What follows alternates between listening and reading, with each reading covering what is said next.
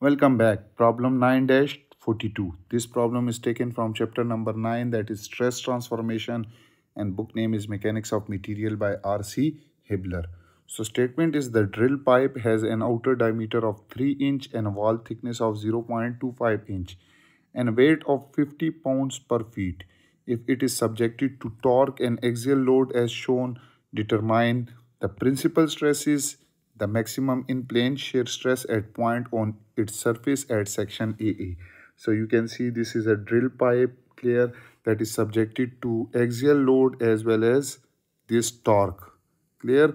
And you have to find the uh, principal stresses and maximum in plane shear at this uh, section AA clear? This pipe has a weight of 50 pounds per feet that will act downward so let's start with the solution. So if you cut this pipe at section AA and draw the free body diagram, so it will be like this.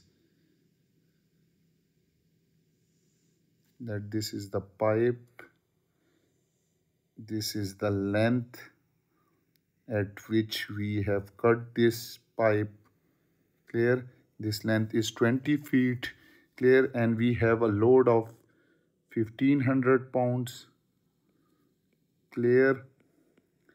And we have a torque that is mentioned over here that is 800 pounds into feet and this length is 20 feet. 20 feet. So when you cut it so definitely you will be having a reaction force which will be represented as n and you will be having a resultant torque in this opposite direction. This will be the torque T. So we'll find this T and N also you can see the weight of this pipe is 50 pound per feet. So this length for the length of 20 feet. So this weight will be also act downward and this weight will be equal to 50 multiplied by 20 and the unit will be equal to 50 multiplied by 20 will be 10,000 uh, uh, and the unit will be pounds. Now we'll apply equation of equilibrium that first equation of equilibrium is sum of all forces along y direction must be equal to 0 and upward force is taken as positive. So you can see one force which is along y direction is 1500 that is downward. The other one is n which is upward and third one is this weight which is 1000 pounds that is downward. So downward force is taken as negative. So minus 1500 plus 1000 uh, minus 1000 minus 1000 plus this n which is upward is their sum must be equal to 0 so from here this reaction axial force will be equal to 2500 pounds now we'll find this resultant reaction torque so for that I will apply equation of that sum of all movement or you can say that this is the torque which is 800 pound into feet. So there is no other torque and this torque reaction torque which is opposite to that. So this T will be equal to this T will be equal to this T will be equal to 800 pounds into feet but that will be counterclock. If this is counterclockwise so this will be clockwise. This T will be equal to clockwise. Now you can see you have a normal axial load and you have a torque. So if I draw the state of stress like this let this is the element clear. So due to this normal load we have a normal force and due to this torque we have a shear force. So for normal load i will write it normal load we have normal stress which is equal to this load n divided by a and for shear for for torque we have due to this torque we have a shear stress which is equal to T torque into C divided by J where T is torque, C is the radius and J is the polar moment of inertia. So first we will calculate it. So N is 2500. So 2500 divided by area. So area of this circular hollow pipe will be equal to pi by 4 d outer square. So d outer square, d outer is 3 inch. So 3 square minus d inner. So d inner, d outer is uh, 3 inch clear and this is 0.25 so this also corrected. This is 0.25 so it means that d inner will be equal to d outer minus 2 time of thickness. So 3 minus 2 into 0.25 will give you d inner will be 2.5 inch so i will write minus 2.5 whole square so when you calculate it, you will get the normal stress comes out to be 1157.5 psi. Also, you can see that this load is downward, this is also downward and this is upward. So it will cause the compression. So compressive stress is taken as negative. So I will write minus sign with it. So this is compressive. So if you represent it on a state of element, so there is no stress in x direction. So sigma x will be equal to 0. And there in y direction, this is compressive stress. So sigma y will be equal to this minus 1157.5 psi.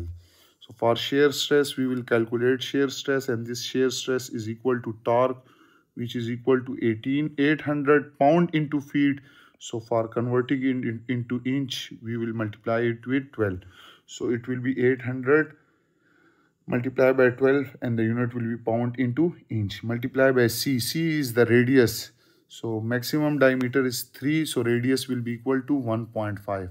So I will multiply it with 1.5. Divide by J. J is the polar moment of inertia. And for circular hollow shaft or rod, it will be equal to pi by 2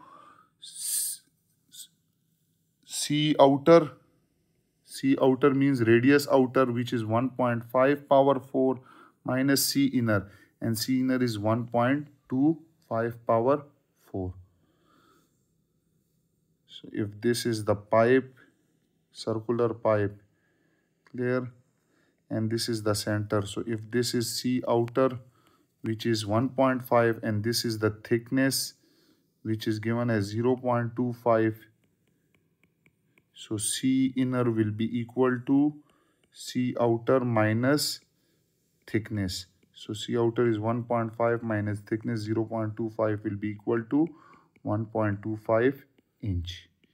Clear? So when you calculate it you will get the shear stress comes out to be 3497.5 psi and if you represent it on a state of on this element so it will be like this.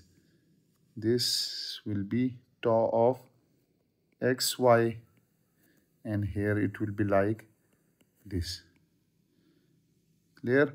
Now you can see that you have sigma x is equal to 0 sigma y is minus 1157.5 psi and you have shear stress tau of x y will be 3497.5 psi. So for calculating the principal stresses, we know that principal stresses is sigma 1 comma 2 which is the first part a part and that is equal to sigma x plus sigma y divided by 2 plus minus under the root sigma x minus sigma y divided by 2 whole square plus tau of xy square. So put the value, we have 0 minus 1157.5 divided by 2 plus minus under the root 0 minus minus will be plus 1157.5 divided by 2 whole square plus 3497.5 square. Clear?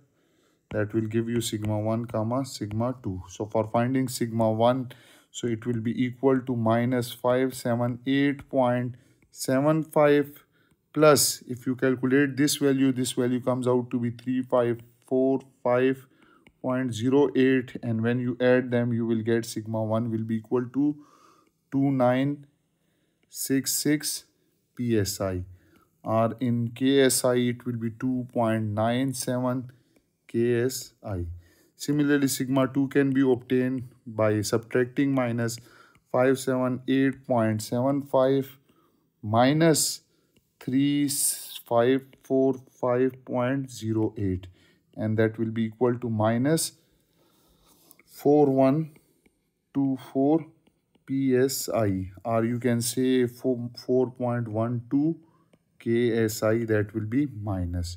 So these are the principal stresses sigma 1 is 2.97 ksi and sigma 2 is equal to minus 4.12 ksi.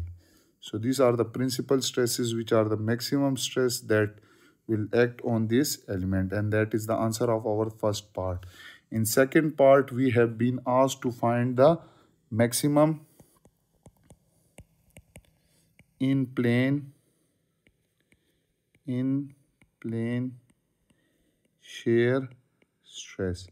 And we know that maximum in plane shear tau in plane maximum is equal to sigma x minus sigma y divided by 2 whole square plus tau of xy square. So put the value sigma x is 0 minus minus will be plus and sigma y is 1157.5 divided by 2 whole square and tau of xy which was 3497.5 whole square under the root. So you can see this is the same thing which have this value and this in plane maximum shearing stress comes out to be 3545 psi or in ksi it will be equal to 3.55 ksi and this is the answer of our second part which is the maximum in plane shear stress. And that was all about this problem 9-42 i hope you have enjoyed this video and you have learned from it those who are new to my channel then subscribe it and don't forget to press the bell icon so that you can get notification about my latest videos. If you have any question you can ask me in comment section. Thank you for watching